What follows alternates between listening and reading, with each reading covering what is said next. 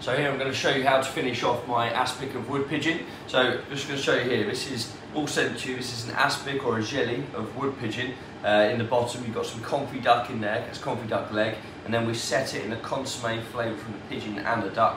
There's some little poached quail's eggs in there, a little fresh herbs, lovely, lovely uh, aspic or jelly. Now this one, you need to make sure it's out for 15 or so minutes before you eat it because it's going to taste way better when it's up at room temperature. Um, garnishes with this, we've got a little caramelised uh, onion brioche here. Uh, this is going to go in the oven for about six minutes in the paper. So let's get that in there now. There we go. And then I'm just going to show you the other items. We've got a herb salad here, a roasted pigeon vinaigrette, and also a little bit of truffle butter which is going to pop in top of that brioche. Uh, on top of that brioche, sorry. So we'll be back in about five minutes. I'm going to show you how to finish this off. So brioche is all ready there. Set that on the side. Undo that. And then I'm going to put a little bit of rapeseed or olive oil on the top of it just to give it a lovely shine.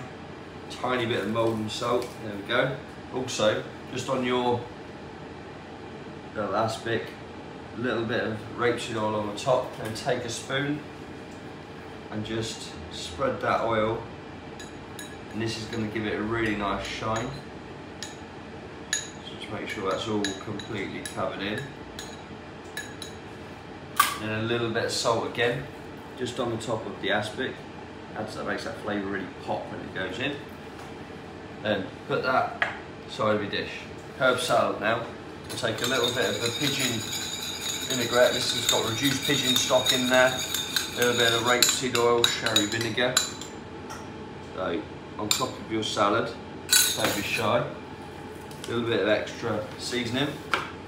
And then just make sure the whole salad is nice and dressed. And then you can either just plonk it on the plate or take it between your hands and just work it in together into a nice pile. Turn it around and then just carefully onto your plate like so give that a little rearrange there we go then we're gonna set off a few little pieces on the top. That's got lovely peppery, got some watercress in there, got purple basil. Really lovely flavours to go with our aspic. Then we're gonna take our brioche, just cool a little bit now just to handle it. And then just with a serrated knife, gonna cut in. Same on the other side, like so. And then I'm just going to put my butter, just take the knife just to do that. Put that in, look at that, very nice. Sit that.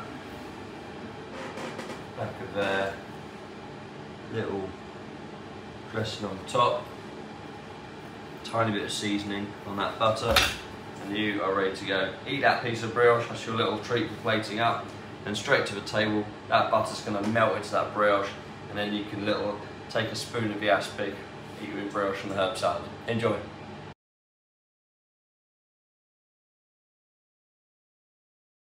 I've got a lovely chunky fillet of cod for the main course now.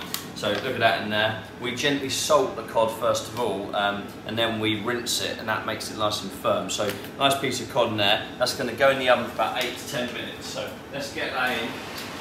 We've coloured it off on the top, so you don't have to mess about in the, in the uh, pan as well. Then we've got a nice bit of gem lettuce, which we've charred on the top. Lovely smoky flavour. That's just going to be like six, seven minutes in the oven, no longer.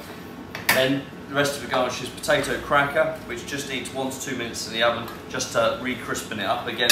And then dressings, little shrimp dressing here, so brown shrimp, lemon, rapeseed oil going through. And then this sauce, white mayonnaise looking sauce, this is pil pil. So this is made with the cod, it's almost like a mayonnaise, blitzed very, very high power to make this beautiful emulsified mayonnaise, which is flavoured with garlic and lemon. So we'll be back about 10 minutes or so. We'll plate the cod up with the gem and the pil pil sauce. So, got my plate there, ready for the cod. Just give it a little bit of a wipe. You don't want it too hot because of course it will make the mayonnaise cook and split eventually if it's too hot. So just warmed up on the plate. Now let's bring out our cod, lovely fillet of cod there. and that's our lettuce. So what we want to do, let's first of all give your pil pil a stir and then take a nice spoon of that.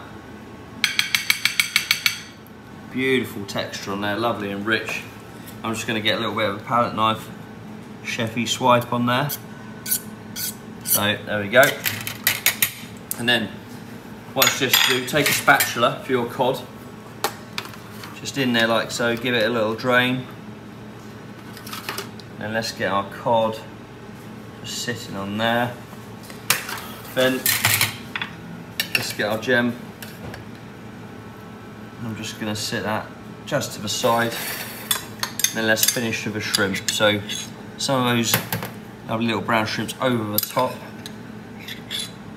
of the cod and the lettuce and of course some of the dressing as well and then let's get the rest around like so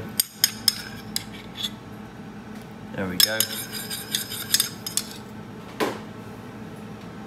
a little bit of that dressing all the way around a few more shrimps make sure you get all of them cracking on there and then let's get our potato cracker that's just been in the oven just to crisp up.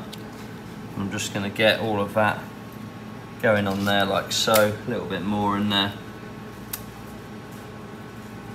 And there we go. So that is my beautiful fillet of cod, sauce pil pil, potato cracker and the shrimp dressing.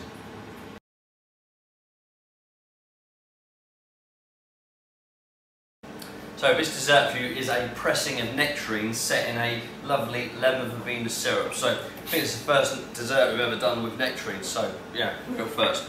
Just taking my Aero out of the freezer. This is white chocolate Aero dusted in lemon verbena. Really, really nice. So let's get plating. All we need to do, take your pressing.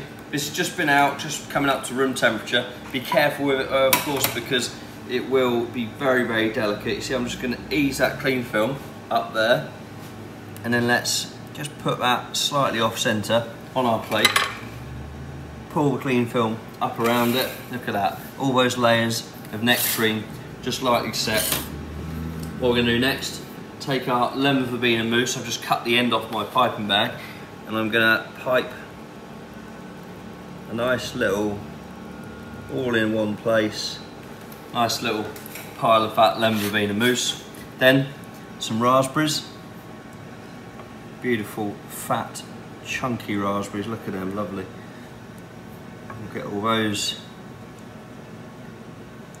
on the plate, like so. And all that's left, your verbena, make sure it stays in the freezer till last second. Then you get that lovely little crunch from the white chocolate. Balance it, good bit on there and I'm very, very happy with that. So that is pressing of nectarines, fresh raspberries, verbena mousse, white chocolate Aero. Hope you enjoy it.